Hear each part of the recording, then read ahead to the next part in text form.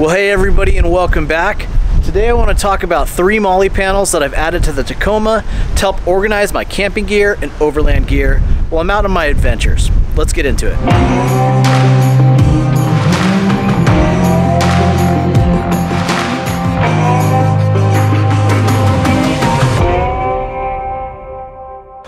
Well, pardon the wind. It's a little bit windy today. I hope it doesn't affect the audio quality too much, but let's get into it. I wanted to start with this bed MOLLE panel that I've got in the bed of the Tacoma made by Cali Raised Off-Road. So the first thing that I want to talk about is how this thing is mounted to the bed.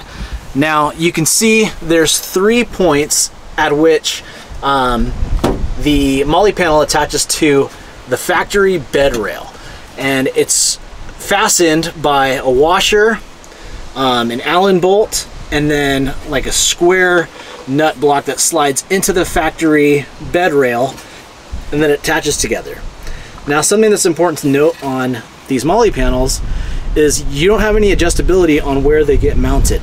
Obviously it's a solid frame and so um, how it's set up is how it is and that's where it's going to have to be mounted on the three top pieces and then on the bottom um, you utilize these torque bolts that hold in, that fasten in these bed boxes in the Tacoma bed. All right, so the reason why I mentioned that is because as overlanders, we're always adding stuff to the bed of our trucks. In my case, I've got this CBI overland bed rack with a rooftop tent mounted to it. Uh, prior to that, I had a camper shell. Now, if you've got some overland bed bars, kind of like these guys, you will probably have a little bit of flexibility, flexibility on where exactly you set these and mount these uh, bed bars. However, with my camper shell, I didn't have any flexibility and I know many bed racks, you don't have any flexibility. There's very specific uh, places that they needed to be mounted. And so sometimes the mounting locations can interfere with one another and that's what happened with uh, my camper shell when I had that originally. So let's talk about that. So the camper shell had three specific mounting points um, that were not flexible. And in my situation, I was able to cut off the top of these mounting points on the MOLLE panel and still be able to make things like squeeze in and fit. Now, it's okay that didn't have the top piece because with enough tightening, um, the MOLLE panel was fixated in place. It was not going anywhere. And so that's just something to take in consideration if you've got a bed rack or a um, camper shell or something like that, just take that in consideration before picking something like this up. Make sure uh, everything's going to fit right because you may have some fitment issues. Okay, so real quick, let's talk about how I've got this thing set up. Now over on this side, I've got my Fiskars axe and hatchet mounted to the MOLLE panel, and I just throw those on when we're going on a camping trip. Uh, we just got back for one, so these things will be coming off tonight. Now also right over here on this side, I usually mount something like a little, it's like one of these little MOLLE pouches. Now I usually leave this pouch inside the truck so it doesn't get stolen but when I'm out on a camping trip I'll throw this up here. Inside it I've got some charging cables uh, some lights and it's right next to this charge port so I can kind of throw stuff in the bag and just let it charge while we're out at camp. Um, these little lights are actually worth talking about for a second here. Um, they've got a magnetic backing and an on and motion setting and so very cool. They'll attach anywhere. I can attach them to the MOLLE panel. I can attach them to uh, the bed rack. I actually have a little 3M mount that's on the bottom of the rooftop tent so it kind of illuminates my cooking area. And with the motion setting, these are something that I can leave on all night long and they'll be off as long as there's no movement. But if I get out of the tent in the middle of the night, these things will pop on for me and give me a little bit of lighting, which I think is a great feature. So pretty cool. Now on this side, I've got a fire extinguisher that I leave mounted in here full time. It's set up on a quick release, so I like to leave it here just in case. Now, somebody could probably steal it. Thankfully, no one has yet. Um, on this side, I will be mounting a 10 pound propane tank that I use for, for my fire pit.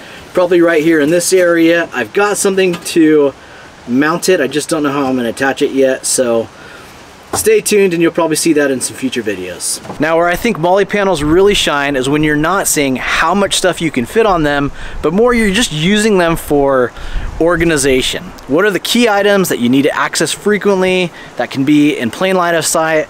That's when I think that they can really be useful. So I've got some in the interior as well. Let's go check those out. Okay, so my interior has been, it's been a major focus of mine recently, and I've got another video coming out probably in a couple weeks. I'm just waiting on some other items to come in. So we'll get to some of this because I know you guys are gonna have questions, but to get back to the MOLLE panels, I picked up these um, sun visor MOLLE panels off of Amazon. Uh, at first I just got the one on the driver's side and the reason why I picked it up is I really wanted to find a visible place within hand's reach that I could put my headlamp. Um, I go camping on Friday nights all the time, get to camp, it's super dark. My headlamp, I've got a rechargeable blue uh, black diamond headlamp that I absolutely love and I just wanted just a really great place, a visible place to put that thing. Um, I also, with the little bungee cord aspect it has here. I really like mounting my sunglasses on here. Um, for my for the occasion when my wife comes, I've also got a headlamp mounted up there for her, and then she can mount up her sunglasses in the passenger side as well. All right, something to take into consideration on these things is these things can lose their luster over time and actually when I did this modification I replaced the sun visor completely. I bought another one off of Amazon. I'll link that as well um, and they add a little bit of weight and so even with that new one in you can kind of see it, it does sag just a little bit um, look I really like having the functionality of having the headlight right here the sunglasses right here as you can see it doesn't obstruct my visibility at all I'm 5'9 so this is one where I think a lot of people are going to think it's really cool. A lot of people are going to think it's really stupid, but to each your own, make your own decision. Um, I think they're pretty cool. All right, now this one back here, I really like this one a lot. Uh, also ordered this one off of Amazon, and that attaches right to these bolt locations um, underneath the handles. It comes with some hardware. The nuts are a little bit extended, so you're able to put those handles back on um, over the MOLLE panel and it's really easy to set up. Now I kind of had to use my head to balance like the opposite side when I was installing that side. I balanced that on top of my head to be able to work things into place. It does have some weight to it and so it's not something that it's just easily done with just two hands. So fair warning on that. Um, but what I have mounted on it is these pouches. Now I actually have a couple different things that are on the way and so it's not staying accessorized how it is right now. Um, that video that I mentioned that's coming up pretty soon. When those things get in here, get in and I install them, I will update you guys on the exact pouches. But let me show you real quick. So it's no secret, these Tacoma cabs are tiny. I've got a family of four and I'm always taking kids on these trips. And so finding new and creative ways of storing gear and maintaining organization with some things like this um, definitely help out a lot. The type of gear that I've got in these pouches right now are like I've got a spare hand radio. This is my Baofeng BF8HP radio. Um, I've got some accessories for that in this other pouch. And then in some of these other pouches, I've got various uh, backup charging cables, USB, USB-C, Apple Watch, iPhone, chargers. I've got a Bluetooth speaker, all sorts of stuff that I love having on these camping trips um, that I want to know where they're at. Like I said, so I've had these pouches for quite a long time. They used to be mounted back here um, on this MOLLE panel on this side when I had the camper shell, but now that I don't have that security, I've moved them into the interior. And so, as I mentioned, I do have some other pouches and organization type MOLLE accessories coming. Once those get in here, I will do another video just kind of go going over all the overland interior gear stuff that I've done because there's a bit more than I've alluded to and definitely some cool features that I'd like to talk to you guys about in the near future. If you have any questions about any of these MOLLE panels, let me know down in the comments. I think that wraps it for this one. Thanks for watching. I hope to see you out there. We'll catch you in the next video.